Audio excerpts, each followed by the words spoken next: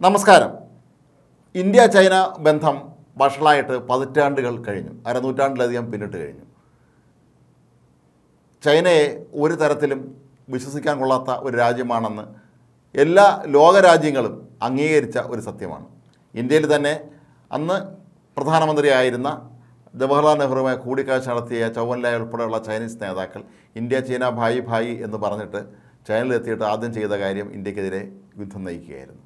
ഇവിടെ ചർച്ച നടക്കുമ്പോൾ അവർ സൈന്യത്തെ അയച്ചിരുന്നു എന്ന് പോലും നമ്മൾ സംശയിക്കേണ്ടുന്ന സാഹചര്യമാണുള്ളതെന്നാണ് പല പ്രമുഖ വ്യക്തികളും പിൽക്കാലത്ത് ഇതേ സംബന്ധിച്ച് വ്യക്തമാക്കിയിട്ടും ഉള്ളത്.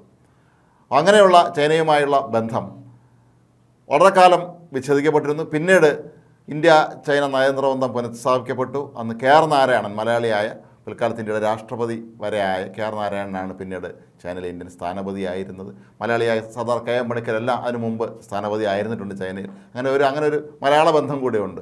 ഏതായാലും കഴിഞ്ഞ ദിവസം ഇന്ത്യ ചൈന സൈനികതല ചർച്ചകൾ നടന്നിരുന്നു. രണ്ട് ദിവസങ്ങളിലായിട്ടാണ് നടന്നത്. പത്തൊമ്പത് റൗണ്ട് ചർച്ചകളാണ് നടന്നത്. ഇതനുസരിച്ച് വീണ്ടും ഇന്ത്യ ചൈന ഭായി ഭായി ആകാനുള്ള ഒരു അവസ്ഥയിലേക്ക് നമ്മൾ എത്തിയിരിക്കുന്നു എന്ന് മനസ്സിലാക്കണം. ഇത് ബ്രിക്സ് ഉച്ചകോടിക്ക് മുന്നോടിയായിട്ടാണ് ഇത്തരത്തിലുള്ള ഒരു സൈനിക തല സൈനിക കമാൻഡർ തല ചർച്ച നടന്നത്. മിക്കവാറും ഈ ബ്രിക്സ് ഉച്ചകോടിക്കിടെ പ്രധാനമന്ത്രി നരേന്ദ്രമോദിയും ചൈനീസ് നേതാവ് ഷീ ജിങ് പിങ്ങുമായി കൂടിക്കാഴ്ച നടത്താനും സാധ്യതയുണ്ട്.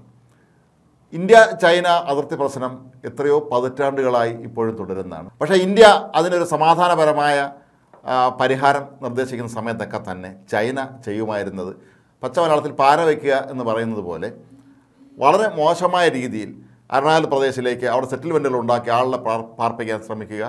അതുപോലെ ചാരപ്പണി നടത്താൻ ശ്രമിക്കുക. അതിനുവേണ്ടി അന്തർവാഹിനികളെ വരെ ഉപയോഗിക്കുക. ഇവർ അമേരിക്കയിൽ ചാരപ്പണി നടത്താൻ ഡ്രോൺ അയച്ച് ചൈനയ്ക്ക് തന്നെ ഒടുവിൽ പാരയായ കഥയും നമുക്കെല്ലാവർക്കും അറിയാം.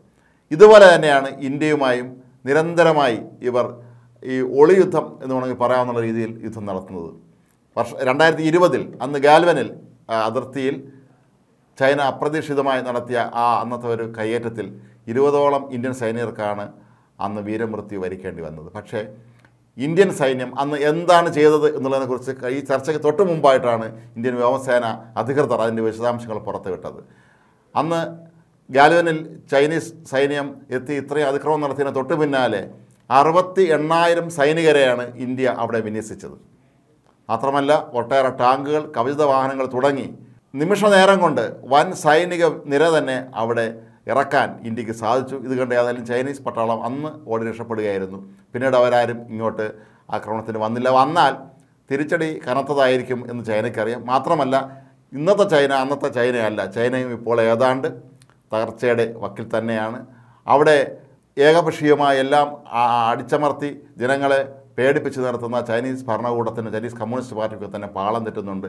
നാലര കോടിയിലധികം പാർട്ടി പ്രവർത്തകരാണ് പാർട്ടി വിട്ടുപോയിട്ടുള്ളത്. മാത്രമല്ല വ്യവസായ രംഗത്തും എല്ലാ മേഖലകളിലും അമേരിക്ക ഉൾപ്പെടെയുള്ള രാജ്യങ്ങൾ ചൈനയെ ഒറ്റപ്പെടുത്തുന്ന നിലയിലേക്കും കാര്യങ്ങൾ പോയിട്ടുണ്ട്.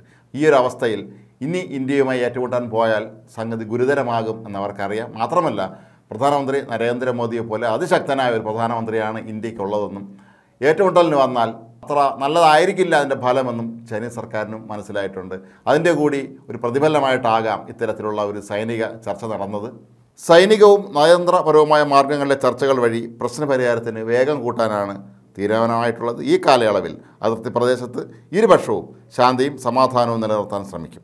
ഇരുപക്ഷവും പടിഞ്ഞാറൻ മേഖലയിൽ നിയന്ത്രണ രേഖയിൽ ഉടനീളമുള്ള അവശേഷിക്കുന്ന പ്രശ്നങ്ങൾ ക്രിയാത്മകവും ആഴമേറിയതുമായ ചർച്ചയിലൂടെ പരിഹരിക്കും എന്നാണ് തീരുമാനിച്ചിട്ടുള്ളത്. ഇത് ഇന്ത്യ ലോകത്തെ ഏറ്റവും വലിയ ശക്തികളിലൊന്നായി മാറുന്നതിന്റെ സൂചനയെ തന്നെ നമുക്ക് കണക്കാക്കാം. കാരണം എല്ലാ കാലത്തും ചൈന അവകാശപ്പെട്ടിരുന്നവർ ലോകത്തെ വലിയ ശക്തിയാണെന്നും ഇന്ത്യയുടെ യു എൻ രക്ഷാസമിതിയിലേക്കുള്ള പ്രവേശനത്തെ വരെ അട്ടിമറിക്കാൻ ശ്രമിച്ചുകൊണ്ടിരിക്കുന്ന ചൈനയ്ക്ക് ഇന്ത്യ ഒരു ശക്തിയായി വളരുന്നത് അയൽ രാജ്യമായി ഇന്ത്യ ശക്തിയായി വളരുന്നത് സഹിക്കാൻ കഴിയുന്ന ഒരു കാര്യമല്ല.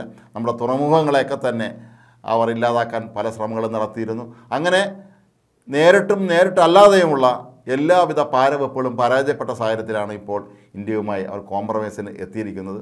എന്തായാലും ഇത് ഇന്ത്യൻ ഭരണകൂടത്തെ സംബന്ധിച്ച് കേന്ദ്ര സർക്കാരിനെ സംബന്ധിച്ച് പ്രത്യേകിച്ച് പ്രധാനമന്ത്രി നരേന്ദ്രമോദിയും സുരക്ഷാ ഉപദേഷ്ടാവ് അജിത് ഡോവലിനെയൊക്കെ സംബന്ധിച്ച് ഇത് വളരെ പ്രധാനപ്പെട്ട ഒരു തീരുമാനമാണ്.